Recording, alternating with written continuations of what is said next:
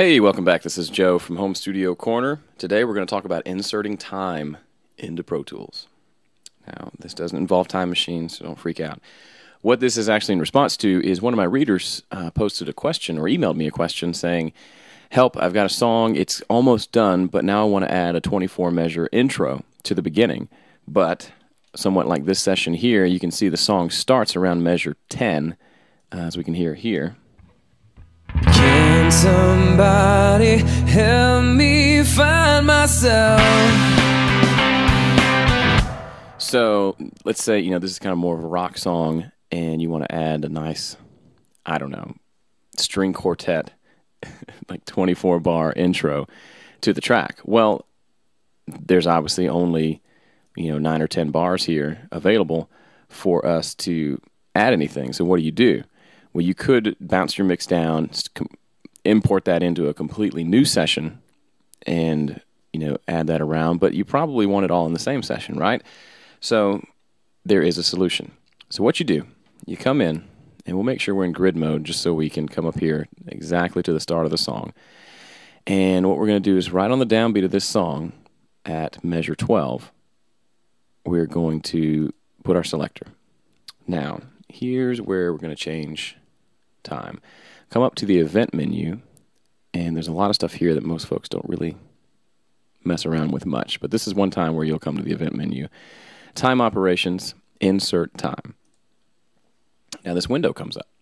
And it's a very, pretty basic window. And basically, what it's allowing you to do is to insert any set amount of time that you want in the exact spot that you have your marker located. Now, if you don't normally have bars and beats as your default view, which I I kind of go back and forth. As you can see, your display here can be in bars and beats, in minutes and seconds and samples, or in bars and beats. And this section here is going to mirror whatever's up here. So for our purposes, we know we want to put exactly 24 bars at the beginning, so we're going to default to bars and beats, so we can have that there.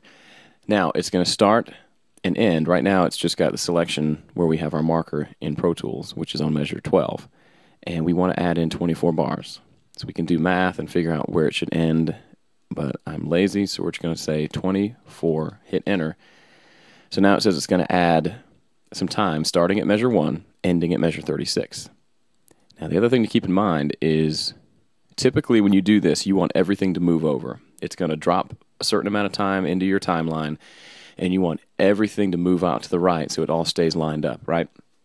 So that includes any meter, tempo, key, and chord rulers, also, all tick based markers and tracks, which would be your markers and any MIDI tracks that's based on the tick as opposed to a sample. And then also, obviously, all your sample based markers and tracks. So, all your audio tracks need to move over. Now, I'll zoom out and we can take a look here. It's already, as you can see here, it's got uh, the area selected right here. And as we apply it, you're going to see everything within that section is going to get jammed over to the right. Here we go. And there you go. Now, in case you didn't catch that, as you can see, now we've got 24 bars here. And it even cut off this audio here so we can just trim that back so we don't lose the first part of those, those notes. But now everything's been moved over. Now, if I undo and go back, take a look at these markers here, the verse and chorus markers. Those also got moved as well. So everything in this session just got moved back a certain amount of time which is very cool. That also includes any automation that you have going on, volume automation, plug-in automation, all that fun stuff. It all gets moved over. So now, if we undo our undo, now we've got a lot of space here. And maybe you want to put, you know, an hour of space at the beginning. I don't know. But now you can do that, and it's, it's very easy to do. So hopefully that helps. If you're like me and you don't necessarily plan how your song's going to go, or you get to the end of a session or a project and you realize, hey, a really cool intro would be great here, but I don't have time.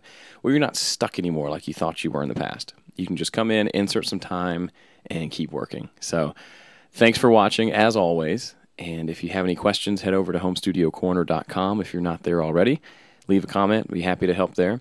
Also, little shameless plug I released a little live EP yesterday. So, there's a link back at the site uh, to my website, joegildermusic.com which has some of my personal music. So if you're interested, it's free, kind of fun, and uh, I'll probably be featuring some of that information here on the blog before too long. So, thanks again for watching, and we will see you back around here soon.